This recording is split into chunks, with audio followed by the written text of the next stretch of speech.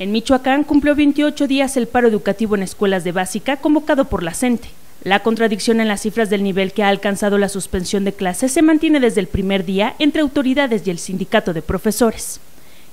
Bueno, nosotros el registro que tenemos es de que se sigue manteniendo el 75% de las escuelas paradas en el estado de Michoacán.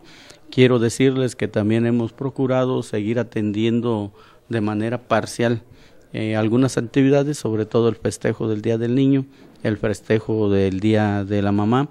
Pero la Secretaría de Educación Estatal tiene otros números distantes a los de la CENTE. El día de hoy tenemos un 25%, que representan a 2.868 escuelas y 250.431 alumnos.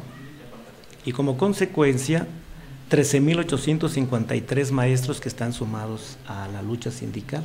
La CENTE asegura que el paro ha permitido que avancen las negociaciones con los gobiernos estatal y federal y terminará hasta que se entreguen las plazas automáticas a los normalistas y se cancele la reforma al artículo tercero constitucional.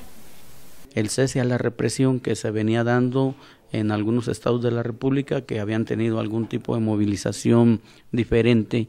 Eh, de igual manera, el apoyo a los compañeros normalistas, tanto los que están ahorita en cuarto año como aquellos que ya están cursando su primer grado académico. Además de las peticiones que la CENTE hace a nivel federal, también está el cumplimiento del acuerdo que se firmó con el gobierno del estado el 23 de junio del 2012 con peticiones económicas para el sector educativo de la entidad.